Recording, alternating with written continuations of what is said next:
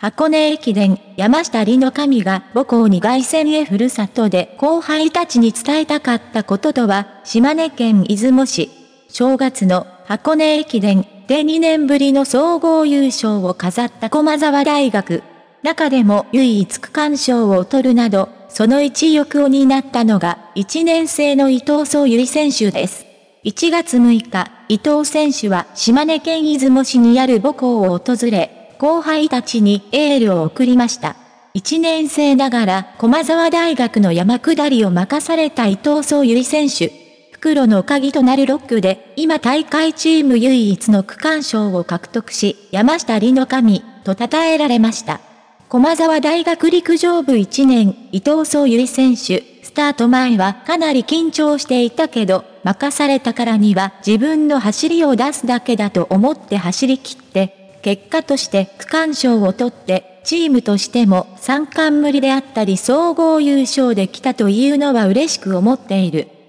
1月6日、伊藤総由選手が訪れたのは、母校の出雲工業高校です。去年まで共に汗を流した陸上部の後輩に伝えたかったこと。それは、決して才能ではないということ。出雲工業高校陸上部の後輩、高校の時練習で意識していたことは、伊藤総由選手、自分は高校の時そんなに強い選手ではなかったけど、全国の強い人たちと勝負するというのを3年間目標にやっていて、高いレベルを見て練習していくのが一番かなと思う。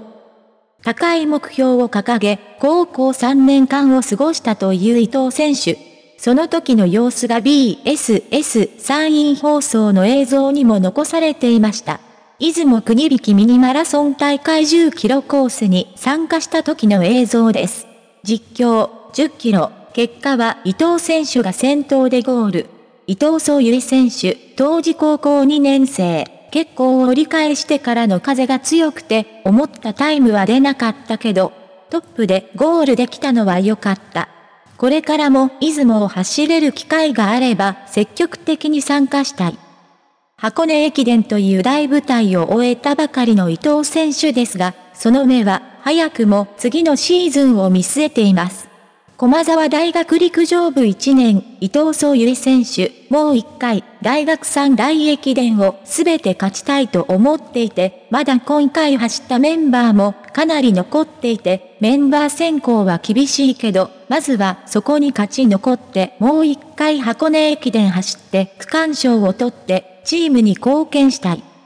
山下里の神として名を馳せた出雲市出身の伊藤総由選手。次は、東京で3月に開かれる日本学生ハーフマラソンに出場予定です。参院放送。ご視聴ありがとうございました。素早く最新情報をもらえるように、チャンネル登録ボタンをよろしくお願いいたします。ありがとうございます。